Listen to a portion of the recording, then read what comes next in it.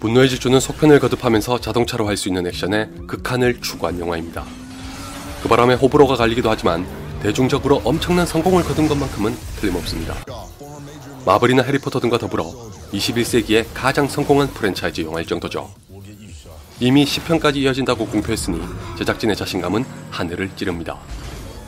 그런 영화가 이번에 큰 변화를 맞았습니다. 다들 아시다시피 빈디젤과 이 시리즈를 구축했던 주역인 폴 워커가 사망했기 때문입니다. 그와의 아름다운 이별을 남긴 7편을 지나 이제 우린 폴 워커 없는 분노의 질주를 보게 됐습니다. 곧 말씀드리겠지만 이건 8편에 적지 않은 영향을 주고 있습니다. 또 하나의 변화는 감독이 재차 바뀌었다는 것입니다. 지금의 분노의 질주를 잇게 한 1등 공신인 저스틴 린과 그의 뒤를 이었던 제임스 완이 모두 떠나고 F 게리 그레이가 감독으로 왔습니다. 과연 분노의 질주는 자신의 명성을 계속 지킬 수 있을까요?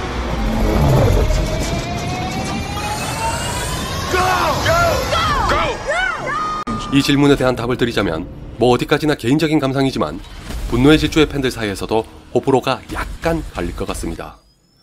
분노의 질주에 특별한 애정이 없는 관객들 사이에서는 더더욱 그럴 거라고 생각합니다. 간단하게 말해서 액션을 비롯한 볼거리만으로 충분하시다면 여전히 만족하실 겁니다. 반면에 그 이상을 원하신다면 글쎄요. 우선 분노의 질주 8편은 액션을 한층 더 보강했습니다. 5편에서 이미 드웨인 존슨이 합류했고 7편에선 제이슨 스타뎀이 악역으로 힘을 보탰었죠.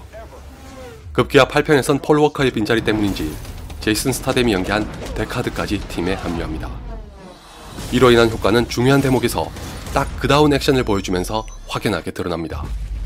제이슨 스타뎀의 영화를 많이 본 사람이라면 식상할 수도 있지만 자신이 가장 잘할 수 있는 역할을 맡은 건 사실입니다. 게다가 뜻밖에도 홉스와 짝을 이뤄 꽤 괜찮은 그림을 보여줍니다. 감옥에서 벌어지는 액션도 그렇지만 앞으로 두 사람의 관계가 어떻게 발전할지 궁금하게 합니다. 브라이언이 빠지면서 홀로 남겨진 도미닉을 대신해 홉스와 데커드가 브로맨스를 보여줄 것도 같죠. 어쩌면 이런 구도 때문에 빈 디젤과 드웨인 존슨 사이에 불화가 있었던 걸지도 모르겠습니다. 자칫하면 시리즈의 무게중심이 다른 사람에게 쏠리게 될 테니까요. 당연하게도 사람이 보여줄 수 있는 액션 이상으로 자동차가 할 수 있는 액션도 커졌습니다.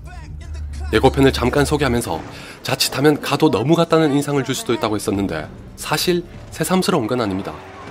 분노의 질주는 4편부터 액션의 스케일이 커지고 격렬해지면서 시리즈의 본질 자체에 큰 변화를 맞았습니다. 바로 그것 때문에 팬들 사이에서도 호불호가 나뉘기 시작했죠. 그런 면에서 보자면 8편은 방점을 찍는 영화가 될 것 같습니다. 솔직히 말해서 저는 좀 혼란스러웠습니다. 강조하지만 실망했다는 게 아니라 말 그대로 혼란스러웠습니다. 액션 자체는 나쁘지 않습니다. 감독이 이탈리안 잡에서 보여줬던 솜씨가 이 영화에서도 제법 빛을 발합니다. 특히 뉴욕에서 벌어지는 추격전은 분노의 질주답게 또 한 번 새로운 액션을 보여줍니다. 시리즈 사상 최고의 IT 기술과 접목시킨 장관이 펼쳐지죠. 비약적이라고 볼 여지도 있지만 뭐 언제는 안 그랬나요? 3편부터 시나리오 작가로 자리를 지키고 있는 크리스 모건도 이런 장면은 마음에 걸린다고 실토했을 정도입니다. 그에 비하면 8편에서 뉴욕을 배경으로 한 장면은 21세기에 걸맞은 적당한 상상력을 불어넣었다고 긍정적으로 생각합니다. 많은 분들이 궁금하실 잠수함과의 대결은 가히 엄청난 스케일을 자랑합니다. 아이슬란드까지 가서 촬영한 보람이 있더군요. 예고편에서 이 장면을 보고 우려했던 것에 비하면 딱 하나를 제외하고 박진감 넘치게 잘 찍었습니다. 다만 이 영화의 액션들을 흥미진진하게 보면서도 내내 머릿속에서 이런 생각이 떠나질 않았습니다. 내가 지금 보고 있는 게 분노의 질주가 맞는 건가? 다들 저기에서 뭘 하고 있는 거지? 어쩌다가 도로를 누비던 영화가 이렇게까지 된 걸까? 결국 원인은 각본입니다. 제가 너무 같다는 인상을 줄 수도 있다고 한 건 액션을 두고 한 말이었는데 정작 너무 멀리 가버린 건 각본입니다. 가급적 관대하게 보려고 해도 8편의 각본은 이 시리즈를 안드로메다로 보내버렸습니다. 한간에 분노의 질주가 우주로 나가는 건 아니냐고 하는 말이 괜히 나온 게 아니라는 걸 알 수 있죠. 지금까진 그나마 현실적인 악당을 상대로 자동차를 타고 싸우는 일종의 자경단이나 의적이었다면 8편은 무슨 지구 방위대로 변했습니다. 이전까진 자동차 액션에 heist movie를 혼합했다면 이번엔 007 시리즈에 어울릴 법한 악당을 등장시켰습니다. 이게 분노의 질주에 적합한 선택은 아닌 것 같습니다. 액션만이 아니라 이야기의 스케일까지 키운 건 실수라고 생각합니다. 그래서 액션만 넣고 보면 충분히 즐길 수 있는 수준이지만 과연 저런 액션이 이 영화에 필요한지에 대해서는 의문이 남는 것입니다. 샤를리즈 테론이 연기한 악역도 그리 매력적이지 않습니다. 연기는 좋은데 캐릭터가 약합니다. 해커로서의 실력이나 야심에 비해 종종 중2병에 걸린 환자처럼 말하니 카리스마가 확 떨어지더군요. 가족주의를 강조하려다가 무리수를 둔 것도 마이너스가 됐습니다. 폴 워커의 부재에서 온 영향이 이거죠. 도미닉이 남성미가 강하다면 브라이언은 영화에 온기와 유연성을 더하는 역할을 했습니다. 덕분에 시너지 효과가 발생했으나 그가 빠지면서 도미닉에게 모두 집중시킨 탓에 부작용이 발생합니다. 만약 이게 빈디젤의 욕심 때문이라면 조금 나눠 가질 필요가 있어 보입니다. 이런 문제에도 불구하고 각본을 칭찬하고 싶은 것도 있습니다. 도입부를 비롯해서 시리즈의 정통성을 간직하려고 노력한 흔적이 보인다는 것이 그렇습니다. 비록 과하긴 했으나 가족주의를 이야기 전개에 필요한 발단으로 뒀다는 것도 좋은 선택입니다.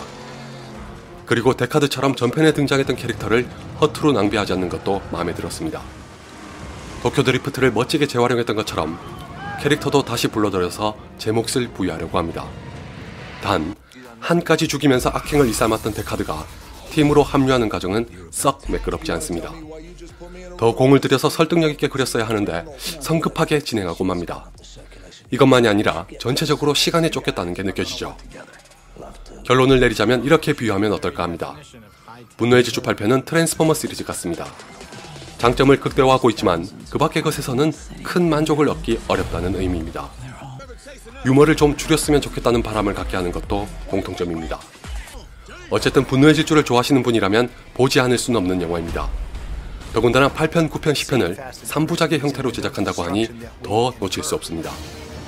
이건 직접 보시면 확실하게 느끼실 겁니다. 끝으로 제가 이 영화를 재밌게 보고 아니고를 떠나서 오랜 팬으로서 감사하고 싶은 게 하나 있습니다. 바로 영화 속에 브라이언이 존재한다는 걸 외면하지 않는다는 것입니다. 현실에서는 그가 죽었지만 영화에서는 그렇지 않다는 걸 인정하더군요.